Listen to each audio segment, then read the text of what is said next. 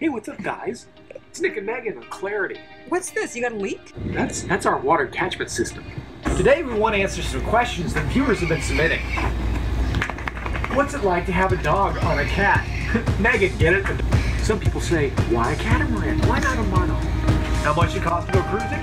Everything we got. Checklist. Checklist. First thing we check on is do we have the cushions ready? How many times have I come home and found these were backwards? Next thing we'll do, we'll check to see if our vacuum is strong enough. Ah! Oh, looks like it needs to be emptied, Megan. Put it on the list. Do we have our charts ready? Well, this has got the right name on it. Good enough. The weather?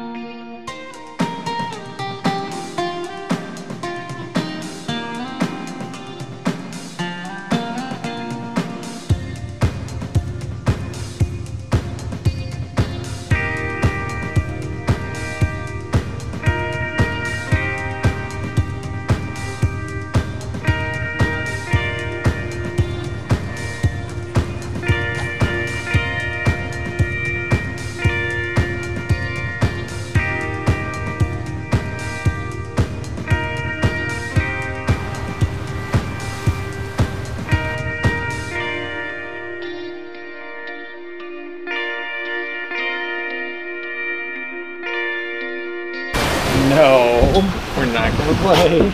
You, you. We're in 22,000 feet of water. You, you.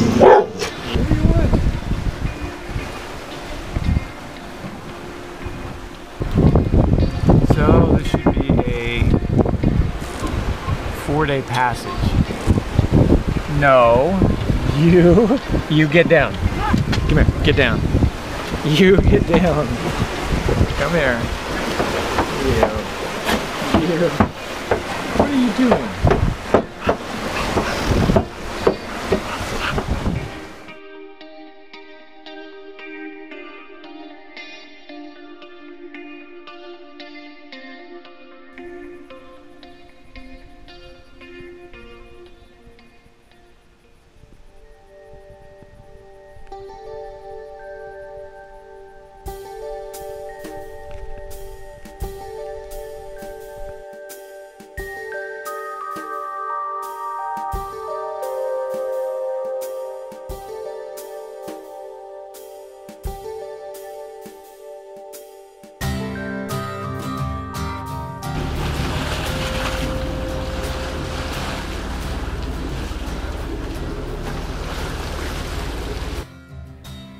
This is probably the strangest thing we've ever seen at sea.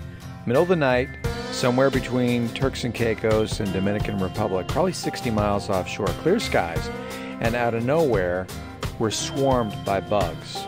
Dragonflies, mosquitoes, and at least a couple hundred of these stink bugs, which, by the way, really do stink. In the morning, when daylight came, the bugs mostly took off, except for the stink bugs. They just wanted to hang out. The broom and vacuum took care of that.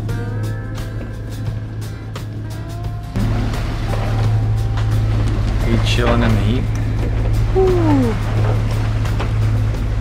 Yes, Do you ever? it's hot.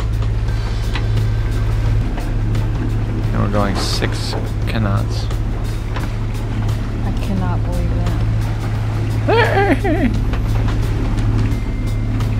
Do you think all of our bug friends are just out for the day and they're going to come back tonight? Some are being eaten by fish right now.